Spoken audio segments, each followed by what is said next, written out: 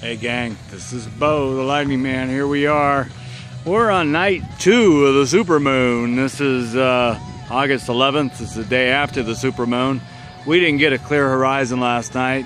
We were going for that rising shot when the moon is big and red and looks like that grand harvest moon, new moon, incredible moon, super moon, as it's called last night.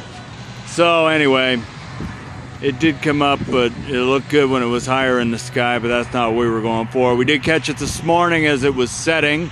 So we did catch the super moon on the flip side as it was going behind the continental divide of the Rocky Mountains.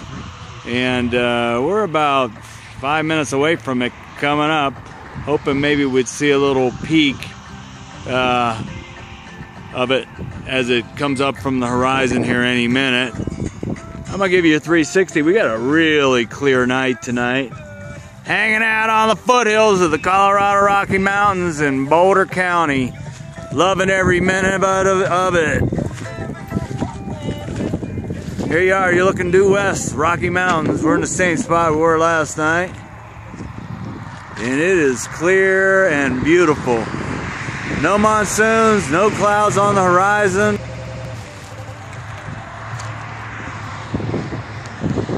And we're probably about uh, 15 minutes after sunset.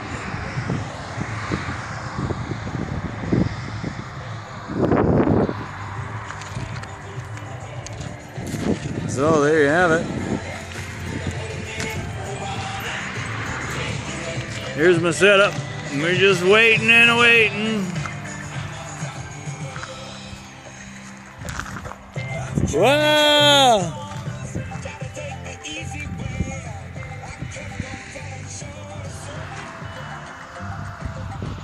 Alright, well, any minute now it's going to be Supermoon 2.